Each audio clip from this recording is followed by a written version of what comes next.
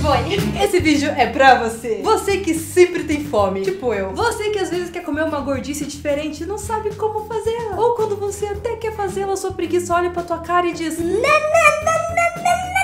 Esse vídeo é pra você, porque hoje eu vou te mostrar três receitas muito fáceis que vocês conseguem fazer aí em casa, não tem erro, e você não vai ter praticamente trabalho nenhum. A sua preguiça não vai nem perceber que você saiu do sofá. Ah, e sabe uma coisa também que não dá trabalho nenhum? É só um clique? É você dar joinha aqui embaixo desse vídeo. Me ajuda a saber que vocês gostaram desse vídeo e continuar trazendo outros assim pra vocês, certo?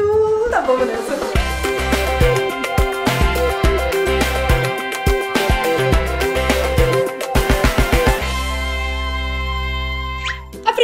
Receita é de um brownie feito totalmente no liquidificador. No li... Não, calma.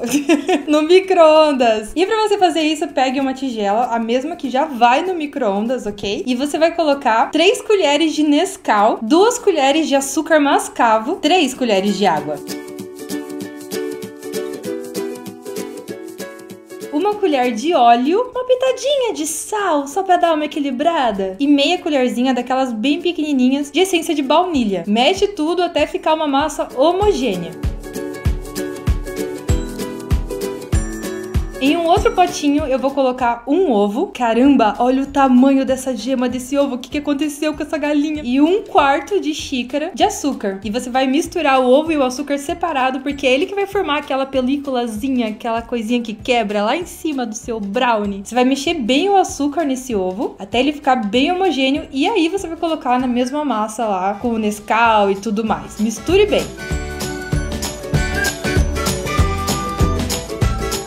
Eu peneirei essa parte porque fica mais airado o nosso brownie, mas você pode deixar sem peneirar mesmo e botar direto um quarto de xícara de trigo. Mexe tudo, mexe bem, mexe lá esse paranauê aí todo. Quando ele ficar homogêneo, você já pode levar pro micro-ondas, mas eu vou colocar alguns pedacinhos de chocolate meio amargo para dar aquele efeito maravilhoso de derretido quando você abrir esse brownie. Vai ficar incrível! Então, se você não tiver o chocolate, não tem problema, não precisa colocar. Mas se você tiver lá dando sopa, um chocolatezinho no armário, você coloca lá dentro que vai ficar, ó, uma gostosura. E você vai colocar no micro-ondas por um minuto. Depois disso, você vai abrir o seu micro-ondas, vai ver como tá e vai colocar por mais 15 segundos. E você vai fazendo esse movimento até você perceber que o seu brownie tá completamente assado. Eu falo para você tirar a cada 15 segundos porque ele vai subir bem, ele vai fazer e vai começar a aumentar e você vai falar: "Meu Deus!". Tem que ficar abrindo toda hora. E quando estiver pronto, você já tem o seu brownie que você pode comer inteiramente sozinha ou dividir com alguém. Eu coloquei duas bolas de sorvete de creme em cima e.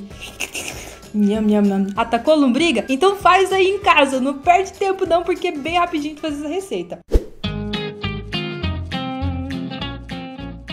E agora vamos para a próxima receita. E eu vou usar esses negócios aí, essas tortilhas, que geralmente é Rap 10 ou alguma coisa assim. E eu vou recortar eles em pequenos discos menores. Tá, tá, tá, tá, tá, esses discos eu vou colocar numa forma de cupcake. Eu vou encaixar ele ali mesmo, certinho. Não preciso untar porque ele não vai grudar. Essa massa, ela fica incrível quando assada. Ela fica bem crocante, como se fosse um folhado. E você vai pincelar um pouco de massa de tomate ali no meio pra gente começar a nossa pizza. E ah, por que não fazer a pizza direto no Rap 10 esticado? Ela não fica maior? Fica. Mas ele em formato de bolinho, você consegue colocar muito mais queijo. Muito mais queijo. E aí fica muito mais saboroso. Então, eu coloquei ali um punhadinho de queijo parmesão para dar um sabor. E em cima eu coloquei um pouquinho de queijo mussarela. O gosto de misturar esses dois queijos é inigualável. E se você gostar de um orégano, vale colocar orégano também. Como vocês podem ver, eu gosto muito, então eu caprichei no orégano do meu. Para rechear, você pode botar tomate, você coloca milho. E eu resolvi colocar essas fatias dessa linguiça calabresa bem fininha. Coloquei quatro em cada um e levei para assar. Levou mais ou menos uns 15 minutos no fogo de 180 graus e ele já assou e ficou douradinho e crocante. O queijo vai ser o primeiro a derreter, mas você vai deixar mais um pouquinho no fogo até que a casquinha comece a ficar bem dourada. Olha isso, gente. E pronto, os seus bolinhos de pizza estão prontíssimos, pronto para degustar. E eu preciso dizer que eu ia falar para vocês que vocês podem fazer uma festa e dividir com os amigos, mas eu comi todas as tortilhas.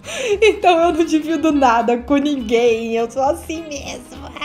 Fazer o quê, né? Na próxima eu faço um pouco mais. Nossa, gente, é porque ficou muito bom. E essa casquinha crocante, meu Deus do céu, não tem igual. Não tem. Nossa, chega a ser até melhor que uma pizza tradicional. Gente, isso é incrível. Sério.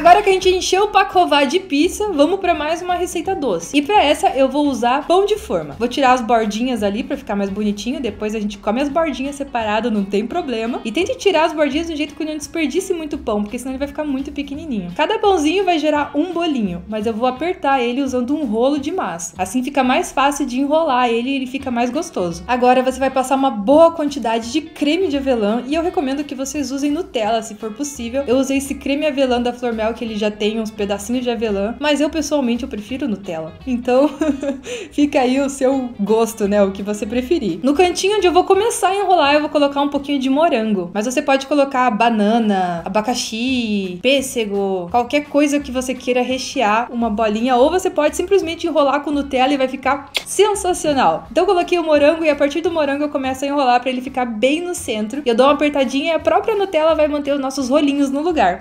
Enquanto isso, eu já coloco na frigideira uma colher de manteiga e já deixo derretendo.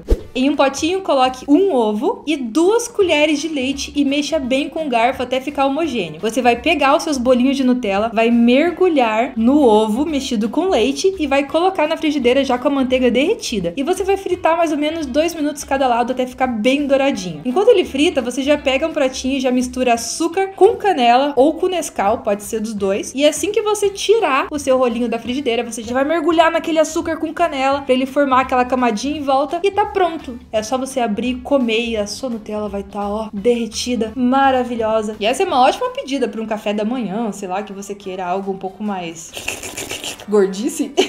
e o melhor é que quem olhar vai achar que você fez a massa inteira, que você teve maior trabalheira, mas na verdade foi bem tranquilo de fazer.